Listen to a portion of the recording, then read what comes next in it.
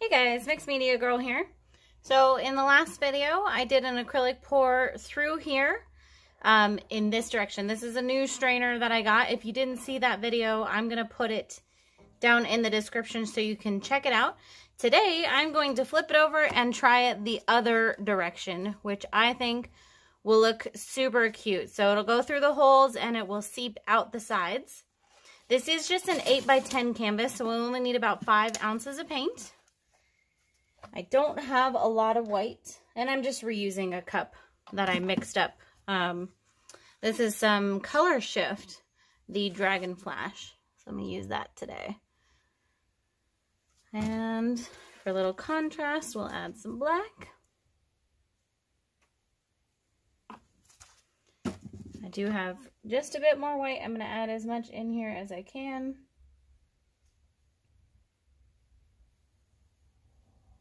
Okay. And then some gold.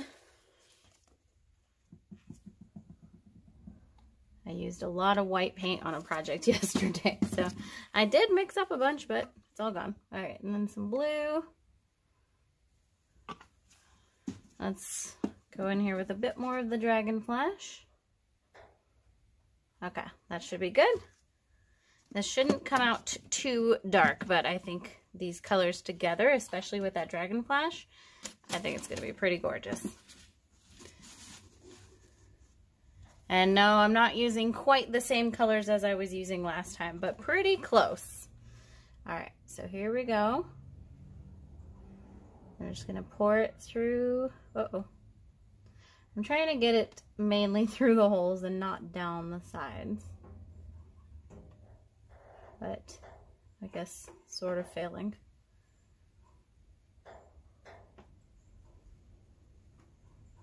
Alright.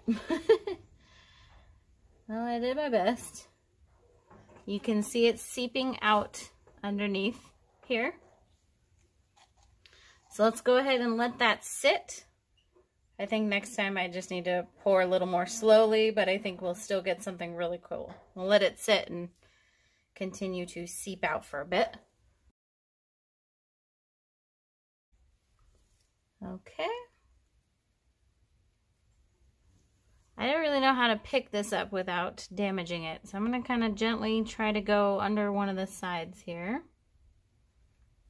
And just lift up. There we go. Okay, that wasn't too shabby. Well, that's interesting.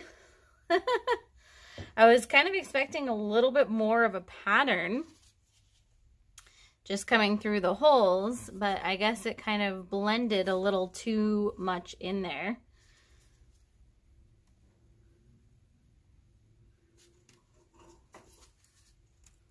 All right.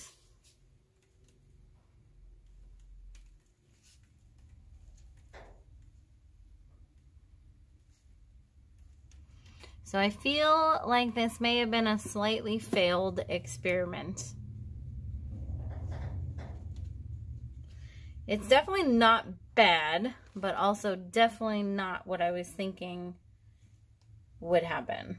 but hey, at least we gave it a shot. Um, let's let that sit there for a bit, see if anything else develops, and then we'll do our close-up. Okay, guys, I had an idea. I am not mad at this, but I don't love it. So I am going to actually do a little bit more to it. Um, just using the same cup, I'm going to just add some gold and black because I love those colors together.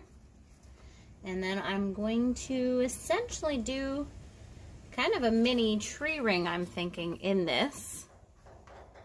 I don't think I even need a lot of paint. I'm just using just a little bit, and I'm going to go right in the center here. And kind of incorporate that as part of the painting. I also did it in the same cup so that when we get to the bottom there, it'll have some of those same colors because I am keeping the sides. Now I always am hesitant to change up a pour in the middle of it on a video because there's always that percentage of people that go, oh my gosh, it was so amazing and then you ruined it. But what can I say? I got to be happy with it myself. So sorry for anyone who is disappointed. And hopefully most of you will still love it. So I'm just to slowly move it around so that it gets incorporated. Also because I kind of want that pattern. I do have a lot of black over here that I think I'm going to end up running off. So this will not stay centered. We're going to go this way. And it's going to go a little more to this side.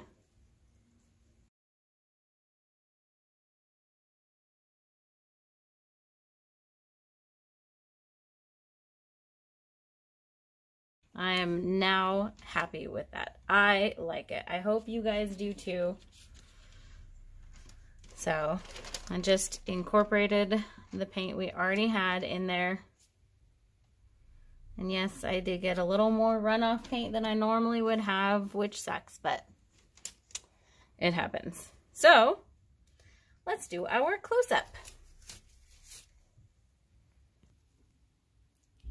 Okay, so lower right hand corner here. Going up to the upper right hand corner. So I like this because it does have a quite the contrast there, but it also, it blends. So here's the upper left hand corner. We have some of that blue right in the middle. And then here's our lower left hand corner and back to the overall.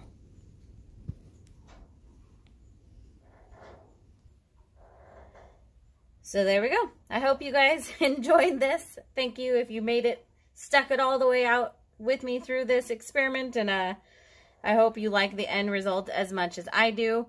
I will be doing one more with this strainer where I'm going to um, intentionally leave some negative space. So I'm going to uh, have the paint be a little bit thinner than normal so that I don't have to tilt because the plan is to not tilt it at all. So we'll see what happens with that in a future video. Otherwise, thanks for watching. I'll see you next time.